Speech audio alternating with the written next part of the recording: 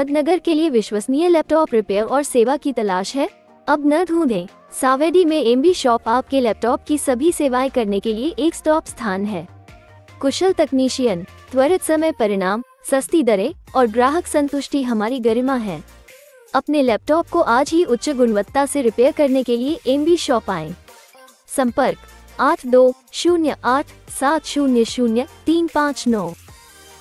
नमस्कार सध्या देशभरामध्ये नवीन जे एन वन हा कोविड व्हेरियंट आढळला आहे महाराष्ट्रात देखील काही रुग्ण आढळलेले आहेत.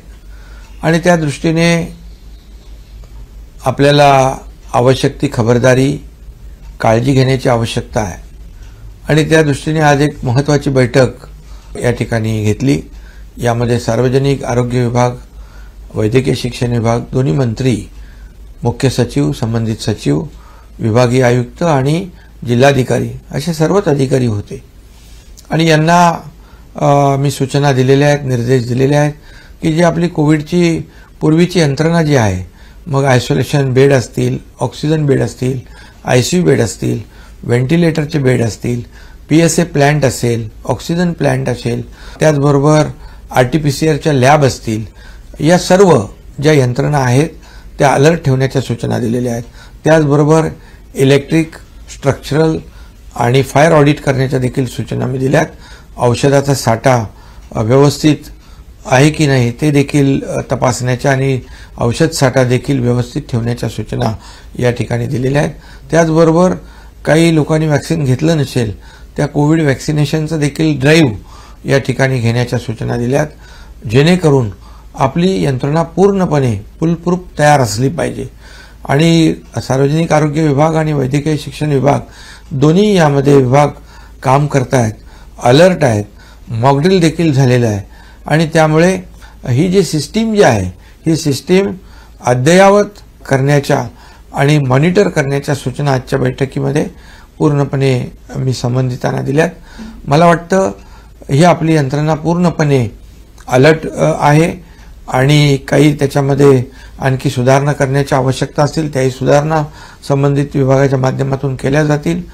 परंतु या ठिकाणी कुठल्याही नागरिकाची गैरसोय होणार नाही अशा प्रकारच्या सूचना आजच्या बैठकीत दिल्यात. हा व्हेरियंट माइल्ड असला तरी सुद्धा झपाट्याने पसरतोय. त्यामुळे ज्यांना अशा प्रकारचे सिमटम असतील म्हणजे सर्दी खोकला ताप तर त्यांनी गर्दी टाळली पाहिजे. गर्दीपासून आयसोलेट झालं पाहिजे.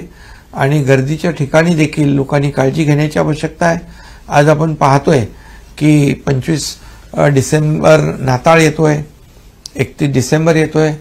त्यामुळे नागरिकांनी जास्तीच काळजी घेण्याची आवश्यकता आहे. पण घाबरण्याची आवश्यकता नाही. एवढंच आव्हान या ठिकाणी मी करतोय. कारण पूर्वी आपण या कोविडचं मोठं संकट आपण त्याचा सामना केलेला आहे. मोठ्या प्रमाणावर या अनपेक्षित संकटामध्ये सर्व टीमने काम केलं आहे मग त्यामध्ये डॉक्टर असतील नर्सेस आहेत त्यामध्ये पोलीस यंत्रणा आहे एन जी ओ आहेत संपूर्ण प्रशासन आहे.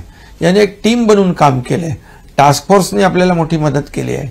आणि म्हणून आपल्याला त्याचा पूर्वानुभव पूर्णपणे चांगला आहे.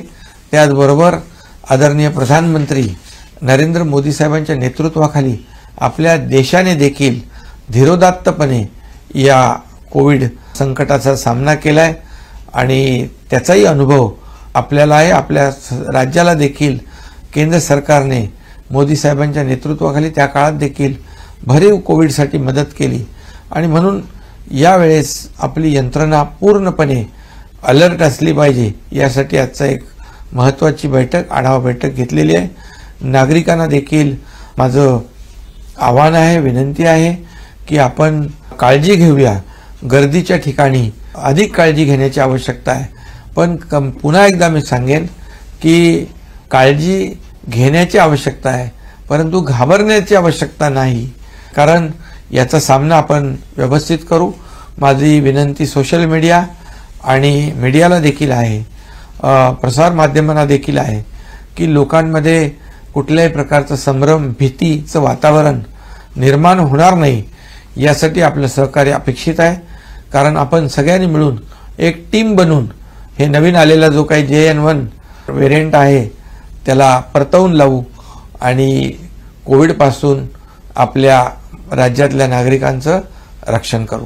धन्यवाद. Bureau report active Marathi news Ahmednagar.